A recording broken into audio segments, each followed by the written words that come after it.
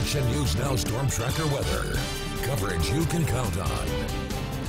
Welcome back. Happy Labor Day weekend to you, Chief Meteorologist Jason Stiff. These hot temperatures, I mean, they got to go. I'm done with this, man. Yeah, this is not only just unseasonably hot, it's dangerously hot Yeah. in a lot of a lot of California, Northern California, Southern California. Also, we were just discussing during the commercial. There have been a couple records set further to the south during like a little bit closer to my old stomping grounds, both in Paso Robles and San Luis Obispo. Now, Paso Robles is a little bit inland. San Luis Obispo is about 10 minutes or so from the ocean. Set an all-time record today at 117 in San Luis Obispo. If you've ever been there, you you know it gets hot, but 117 degrees is just almost unbelievable. Now, in our part of the world, it has been very hot in lots of locations. Temperatures way above average for us, especially in Chico. 108 degrees thus far today. The temperatures are still going to be awfully hot going forward, and we're going to have a lot more heat as we move through. Look at the record highs that were set today. Red Bluff, 113 degrees. That is a record. It broke a record from 1957, which was the old record, 109. Redding has got a high today of 111, also a record breaker. The previous record was 105 in 1955. So we do not want to be breaking records like this, but we still have the potential to do that again tomorrow. More uh, fire danger also in the forecast. This from Monday night through Wednesday because of more gusty, strong wind coming out of the north, and it'll also end up being a northeasterly wind force between 35 and 50 mile an hour gusts, especially in the higher terrain and through the gaps in the mountains.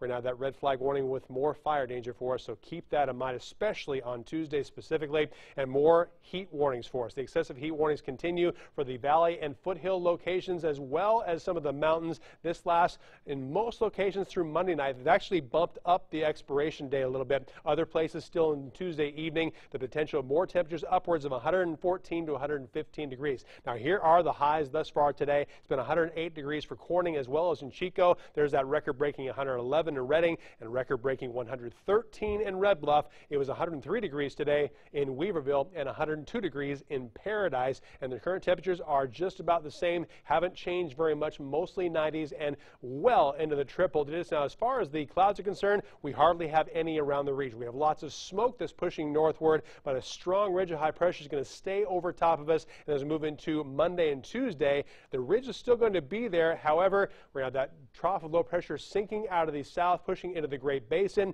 That's going to cause that windy weather moving our direction, which will increase our fire danger dramatically on Tuesday. So keep in mind, we're still going to have the hot weather, although it will be cooler Tuesday.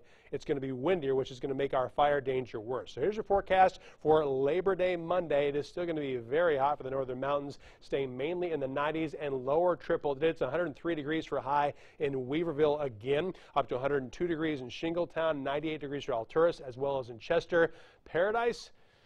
We don't want to see triple digits in paradise, but it is going to be there. 102 degrees again tomorrow, 100 degrees for Magalia, and the overnight low is not cooling very well. We're going to have a low tomorrow morning of 80 degrees in paradise. The rest of the valley mainly in the 70s. Highs just about as high as it was today, and these will be record breakers again for both Redding and Red Bluff between 110 and 112. For the Chico area, lows will not be low, between 70 and 75. Highs just about as high as today, between 108 and 110. Those are also record breaker highs for us. Next seven days in Chico, it will cool down to double digits. However, you can see Tuesday and Wednesday, the fire danger will increase with a gustier wind. Daytime highs get back to the more seasonable 90s. And for Redding, 112 degrees tomorrow. We're going to lop 10 degrees off that temperature on Tuesday, but the wind will increase and we'll be back down to the 90s beginning on Thursday. Okay, let's get through the next few days here, and then it cools down just a little bit. Thank goodness. All right, Jason, thank you for that. We're coming right back.